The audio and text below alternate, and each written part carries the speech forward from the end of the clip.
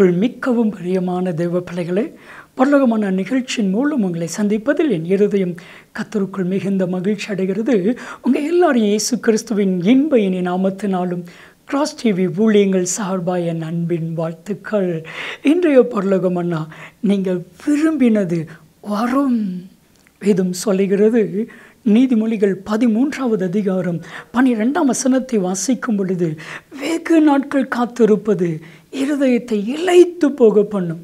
விரும்பினது வரும் பொழுது ஜீவ விருட்சத்தை போல இருக்கும்.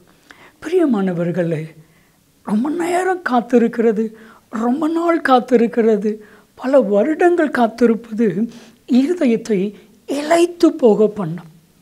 ஆனால் நீங்கள் விரும்பினது வரும் பொழுது அது ஜீவ விருட்சத்தை போல இருக்கும். நீங்கள் விரும்பின காரியம் கட்டாயம் உங்களுக்கு வரும். அதை கத்த செய்வேன் என்று வாக்கு கொடுக்கிறா பல ஆண்டுகளுக்கு முன்னாடி என் வாழ்க்கையில் காத்திருக்கிறது எவ்வளோ கஷ்டங்கிறத நான் அறிஞ்சுக்கிட்டேன்.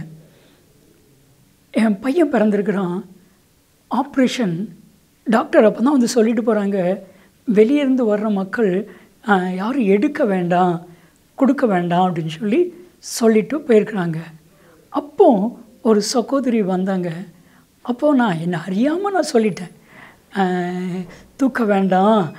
டாக்டர் சொல்லிட்டு போயிருக்காங்க. ஆப்ரேஷன்னால் தூக்க வேண்டாம். அடி பாருங்கன்னு சொல்லி தெரியாமல் சொல்லிட்டேன்.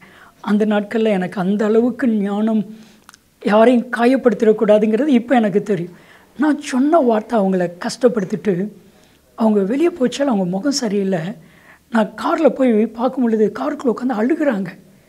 அவங்க ஹஸ்பண்டை கேட்குறேன் ஏன் அழுகிறாங்கன்னு சொல்லி கேட்டேன். அவங்க சொன்னாங்க இல்லை இல்லை பிள்ளையை நீங்கள் தூக்கக்கூடாதுன்னு சொன்னீங்கல்ல எங்களுக்கு பேபி இல்லை எட்டு வருஷமாச்சு குழந்தை இல்லை நீங்கள் குழந்தைய தூக்கக்கூடாதுன்னு சொன்னது அவளால் தாங்க முடியலை. உடனே நான் அந்த சகோதரிட்ட சாரி கேட்டேன்.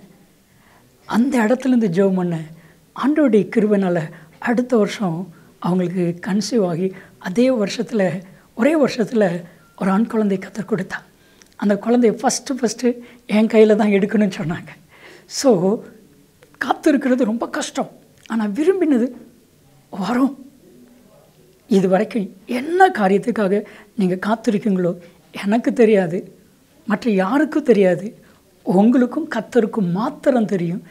இன்றைக்கி அப்படியே பிலீவ் பண்ணுங்கள் உங்களை தேடி வந்து கத்த உங்களை பார்த்து என்ன கேட்பார் தெரியுமா? நீ விரும்புகிற காரியம் என்ன? விதத்தில் ஒரு வேர்டு இருக்குது. யோவான் அஞ்சாவது அதிகாரம் ஆறாம் வசனத்தை வாசிக்கும் பொழுது பெதஸ்தாவில் பெதஸ்தாங்கிற குளத்தில் வெகு காலமாய் வெகு காலமாய் முப்பத்தெட்டு வருஷம் முப்பத்தெட்டு வருஷம். ஒரு மனிதனுடைய ஆயுசு நாட்கள் எழுபது எழுபதை பாதியை தாண்டிட்டார். பாதி வாழ்க்கை முடிஞ்சிச்சு. முப்பத்தெட்டு வருஷம் அதில் மட்டும் இருந்திருக்கார்.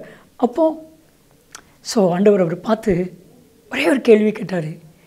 நீ குணமடைய விரும்புகிறாயா? அவ்வளவுதான் அந்த முப்பத்தெட்டு வருஷமாக காத்திருந்த மனுஷனுடைய கண்கள் கண்ணு சொல்கிறான் சில சமயம் தேவதூதர்கள் வந்து குளத்தை கலக்குவாங்க. முதல்ல இறங்கினவனுக்கு சுகம் உண்டாகும். என்னை கொண்டுட்டு போகிற காலையிலேயே அப்படி சொல்லும் பொழுது ஏசு சொன்னா எலும்பி நட. எலும்பி நடந்தவன் ஓடிட்டான். மறுபடியும் இயேசுவை பார்க்கவே இல்லை. அதுக்கப்புறம்தான் இயேசு தேவாலயத்தில் அவனை கண்டு இனி பாவம் செய்யாதுன்னு சொன்னார்.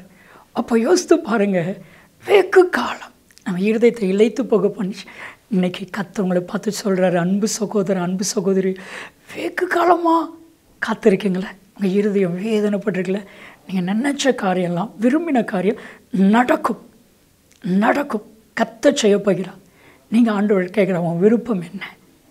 ஆனால் விரும்பின காரியம் நடக்கணும்னா இன்னொரு வேர்டு இருக்குது. நீதிமொழிகள் பதிமூணாம் வசனம் நாலாம் வசனத்தை வாசிக்கும் பொழுது சோம்பேறியனுடைய ஆத்துமா விரும்பியும் அது நடக்காது. நம்ம சுறுசுறுப்பாக இருக்கணும். ஆண்டவரிடத்தில் இந்த வருஷத்தில் ஆண்டவரை நான் இதை செய்வேன். உத்வேகத்தோடு செய்யணும். நடக்கும். நீங்கள் விரும்பின காரியம் நடக்கும். ஆனால் வேதத்தில் இன்னொரு வேர்டு இருக்குது.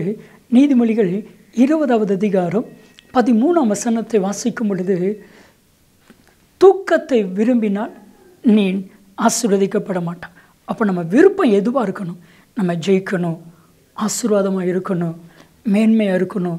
யாரெல்லாம் என்னை காயப்படுத்தி என்னை அவமானப்படுத்தினாங்களோ அவங்க முன்னாடி நான் வாழ்ந்து காட்டணும். அது உங்கள் விருப்பமாக இருக்குமே ஆனால் கத்த செய்வார்.